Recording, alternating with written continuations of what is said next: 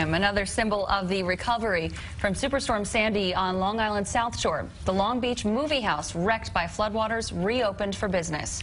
CBS 2's Dana Tyler has the story.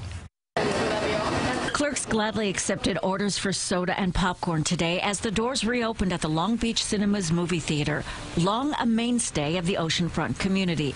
But like everything else near the ocean, it was wrecked by Superstorm Sandy. When it closed down, you know, it kind of got me sad because now it's another half-hour car trip to the next movie theater. Teens once again crowded the ticket counter, but the theater's reopening brought people from far and wide. It's nice to see the theater open after three years, and hard to believe that this town, what it went through three years ago, and now it's alive. And we came from the city to spend the week here on our vacation from Manhattan. But what's old is also new. Many of the returning customers say they appreciate some of the new features of the theater. We're doing reserved seating now. Moviegoers can now reserve and even choose which seat they want. All of the seats soaked by Sandy's floodwaters have been replaced with chairs that have more room to stretch out.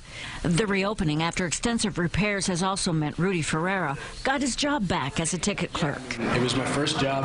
Uh, you know, I got to see movies for free. It was nice, and uh, I just, you know, I, lo- I know a lot of people in town. And it's nice to see them. Judith Cohn says the reopening will boost the recovering beach economy year round. Very important because there's nothing for the kids to do when it's raining. The big screens in all four theaters have been replaced. There is a new roof, and critical equipment has been moved higher in hopes the silver screen is never shut down again.